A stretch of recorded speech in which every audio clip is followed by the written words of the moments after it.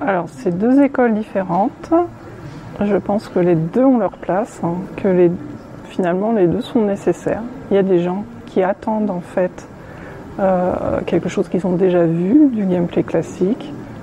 Par exemple, justement dans le point and click, on attend une histoire. Est-ce qu'il est possible d'aller plus loin? C'est possible aussi, oui, c'est possible. Donc ça peut être intéressant, mais il y a des gens qui attendent du classique du déjà vu, je pense. Et en même temps, euh, c'est super d'aller vers autre chose. Donc, euh,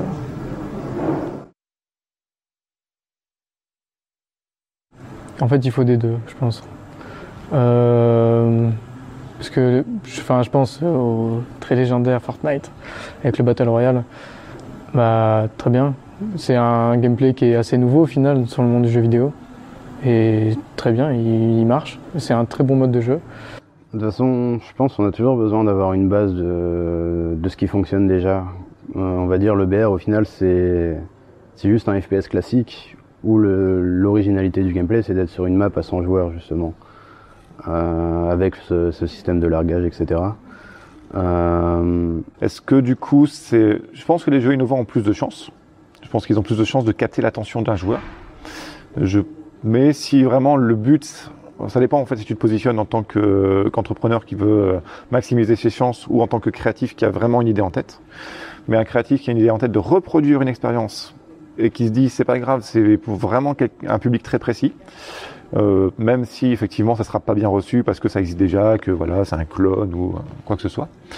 Euh, je pense qu'il faut quand même y aller. C'est quand même quelque chose qui est intéressant à explorer. Et en fait c'est tellement important parce que encore une fois dans le dans le milieu indé, on n'a pas de on n'a pas la force de frappe de GTA V, encore une fois, de Rockstar et tout ça. On n'a pas la force de frappe d'une équipe de 300. Donc euh, si on a un truc à mettre en avant, c'est euh, une originalité à un moment en fait. Même si elle est un peu ratée, même si elle est euh, faite de façon très maladroite, tu vas avoir un jeu qui marche, c'est un jeu qui propose quelque chose de nouveau en fait. Ça dépend des projets encore une fois. C'est si on a une bonne idée, autant l'exploiter. Si on si on n'a pas de bonnes idées, qu'on préfère rester sur quelque chose qu'on connaît bien, qu'on sait bien faire, eh ben, autant autant le faire ça plutôt que faire quelque chose dont on pense qu'on le fera mal. C'est ce que je me suis dit en réfléchissant à la question, quoi. C'est que un gameplay émergent, en fait, euh, en général, enfin, tu le fais pas exprès de le créer, en fait. On va dire que toi, es, mettons, t'es développeur, t'es game designer, tu dis je vais mettre telle mécanique, telle mécanique. Et euh, en général, ce qui est vraiment émergent, c'est euh, ce que les, développeurs n'avaient pas prévu, en fait, où les joueurs ils prennent le jeu, ils disent mais attends, il y a telle mécanique, telle mécanique, et on va réussir à faire euh, des trucs que les développeurs n'avaient pas du tout prévu. Ça, c'est assez, euh, assez stylé. Mais euh, c'est vrai que c'est toujours sympa d'avoir un contre-jeu dans le jeu. C'est rigolo, c'est sympa, mais déjà pas assez de temps pour jouer. Donc si je joue, il faut déjà finir l'histoire, enfin finir le jeu tel, tel qu'il a été conçu. Je pense que oui, c'est bien, il faut proposer euh, des de gameplay émergent, mais en fait, euh, moi, je suis aussi pour prendre une bonne roue qui existe et essayer de l'améliorer tout simplement. Je veux dire, euh, Mario, ça fait 20 ans qu'il saute, ça marche toujours. Et moi, j'ai appris des choses avec Ubisoft, donc là, je reprends un bon vieux concept qui n'a jamais été pleinement exploité et j'essaie de le traduire en rationnel level design, rationnel game design. Je fais tous mes tableaux, je fais mes courbes et j'essaie de voir ce que ça donne du coup.